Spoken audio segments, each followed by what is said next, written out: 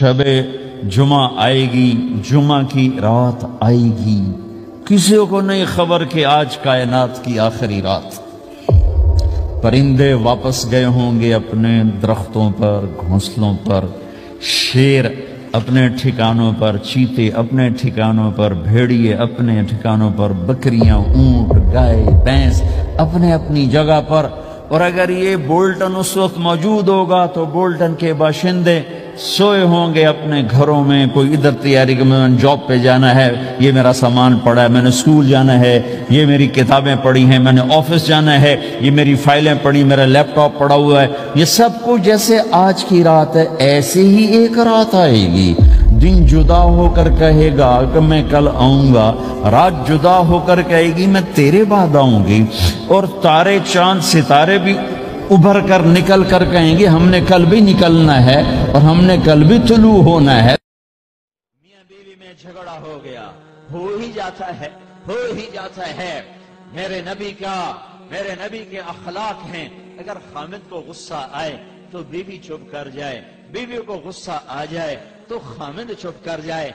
मर्द होने की गैरत न दिखाए कि मैं मर्द हूँ। ये देखे कि इस औरत ने इसकी खातिर बच्चे जने पेट फाड़ दिया, माँ छोड़ दी, बाप छोड़ दिया, भाई छोड़ दिए, बहने छोड़ दी।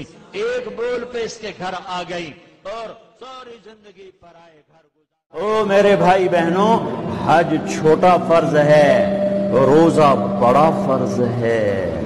रोजा आ गया, रमज़ान आ गया, जिससे नाराज़ हो। ये देखो, मैं फिर हाथ जोड़ता हूँ। यहाँ से उठते ही फ़ोन करो, घर पहुँच जाओ। यार, माफ़ कर दे, रमज़ान शुरू हो गया मेरे रोज़े ना खराब हो जाएँ, मुझे माफ़ कर दो।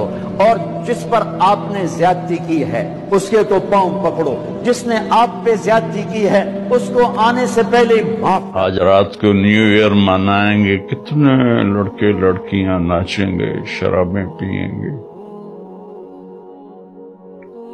अल्लाह को नाराज़ करेंगे काश मेरी आवाज़ उनके कानों के पर्दों से टकराती, उनके दिल के तारों को छेड़ती। उनके अंदर अल्लाह और उसके रसूल की मोहब्बत की जोत जगत। शेर के साथ बैठेगा बेटा तो शेर बनेगा तू इंशाल्लाह।